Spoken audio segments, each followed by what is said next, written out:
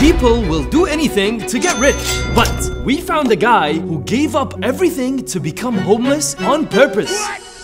This millionaire gave up his car, his house, and all his money, and you'll never guess why. Here is the incredible story of Mike Black. Hey Nas Daily, I'm Mike Black. You may have seen those people who went from nothing to being millionaires, but I'm the millionaire who gave up everything on purpose. Mike has been an entrepreneur his whole life, but in July 2020, he decided to walk away from everything. So I knew a lot of people who lost everything during the pandemic and they got really depressed. I even had a friend that lost a $10 million business overnight. Mike tried to talk to his friends about how to rebuild their lives, but it just wasn't working. He wanted to prove to the world that you don't need luck or money to become a millionaire as long as you work hard. So he came up with a crazy idea. Sorry, cut the video. I need to tell you something. You are not subscribed to Nas Daily YouTube channel. That's why you need to subscribe. Before the end of the year 2022, we want to get to 10 million followers. And please, please, please subscribe so we hit our goal and reach many, many more people. The next video is going to be even better, so please subscribe. Thank you so much. Back to the video. The idea was to start from nothing, to build a new business and grow it to a million dollars in 12 months. That's how the Million Dollar Comeback Challenge started. On day one of the challenge, Mike saw just how hard it is to become homeless. People refused to give him water, and he could not find a place to stay. I tried writing to people on Craigslist where people post their rooms for rent, and I got some really strange offers. I did have someone message me on Craigslist that said they'll give me a, a hundred bucks if I let them. So I got one of those messages. By the end of the day, Mike was hungry, thirsty, tired, and hopeless. Today has been not a great day. Didn't make any money.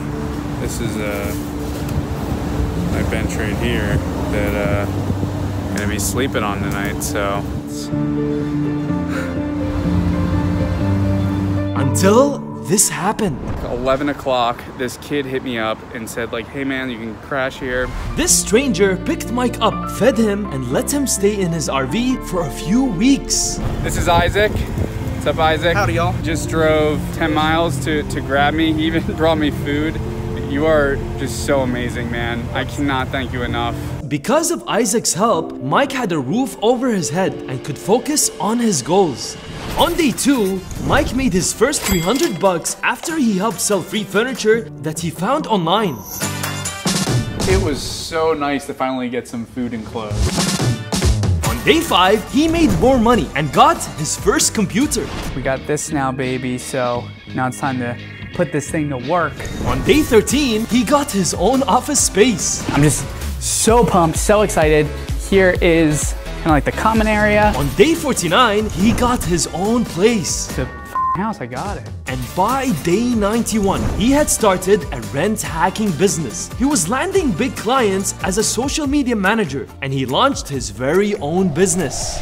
Look at where we're at right now. Yeah, we're not like making millions of dollars. But look at this, gonna be living potentially in a mansion rent free. I'm getting on calls with big tech companies pitching them on running their social media. I'm starting a coffee brand. I have a coffee dude now in Austin. I mean, everything's going in the direction. Dude, three months ago, I was homeless. But on day 138, this happened.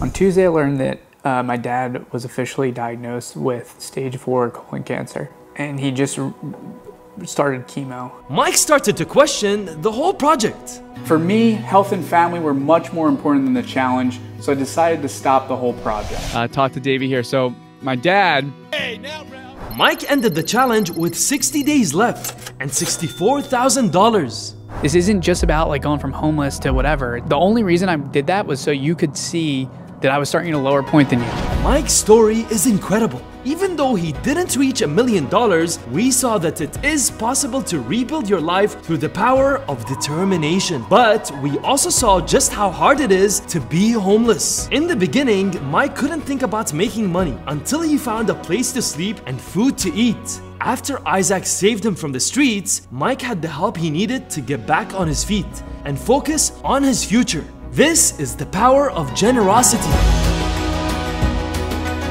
You are just so amazing, man. I cannot thank you enough.